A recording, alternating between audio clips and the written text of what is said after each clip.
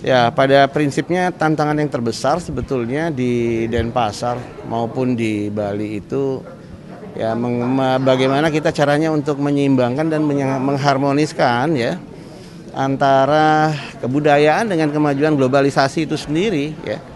Nah, untuk itu makanya saya katakan tadi ya uh, kata kuncinya kemungkinan itu kreativitas masyarakat itu sangat dibutuhkan sekali dan inovasinya dia tapi kita tidak bisa untuk apa namanya uh, meninggalkan akar kebudayaannya itu sendiri. Sehingga kami itu berpikir di sini uh, ada dua hal yang ada dua hal prinsip membangun suprastruktur dalam artian sumber daya manusianya karena kita nggak punya sumber daya alam. Yang kedua membangun infrastrukturnya sebagai pemenuhan-pemenuhan daripada kebutuhan itu sendiri. Ya sekarang ini kan uh, masalah keselamatan iya, tapi masalah uh, ekonomi masyarakat juga harus dipikirkan dengan baik. Sistem masih mencari-cari segala macam.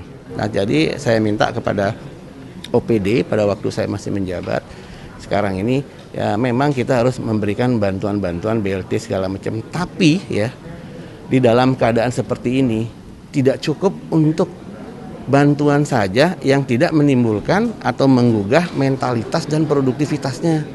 Bangli luar biasa, teruslah bekerja, teruslah disiplin, jangan cengeng, jangan sering-sering protes pemerintah, karena pemerintah itu sama beratnya dengan jadi rakyat, sehingga kerja kita bersama, rakyat bekerja, pemimpin bekerja, melayani dengan baik, disiplin bersama, itulah kunci uh, kemajuan kita.